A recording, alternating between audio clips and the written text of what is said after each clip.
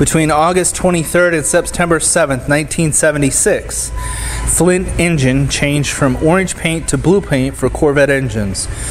Thus, early production 77 models were orange and later were blue. This beautiful 1977 coupe, one of 49,213 made.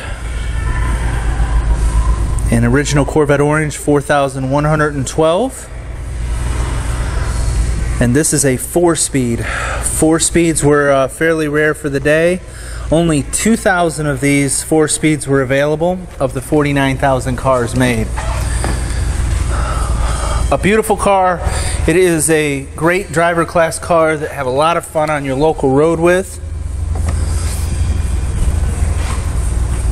We'll notice a little bit of a different fading pattern in the front nose of the car than the rest of it.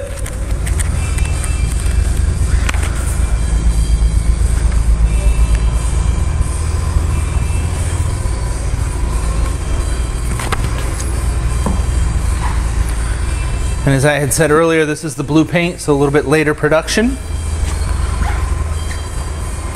Power brakes, air conditioning,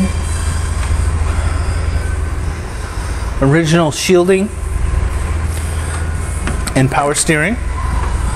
Newer paint on the car. Seats are newer as well. Uh, look like they've been recovered in a recent time. In really good shape tilt and telescoping wheel. As I had mentioned, four speed. Great set of Firestone Firehawk tires. Nice caps and bands. And 77 being the last of the flat window, we went to the bubble window in 78.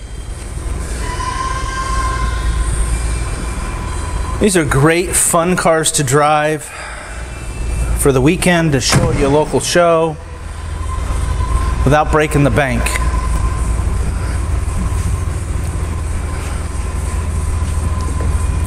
And obviously in very good shape. Don't let it get away from you. Give me a holler, 770 605 2056 if you'd like to come see this or any of the hundreds of classic cars and Corvettes we carry in stock. As always, subscribe to that YouTube channel so you can see all these fun new pieces first. Or stop by and see us. We'd love to have you. We'll see y'all out on the road.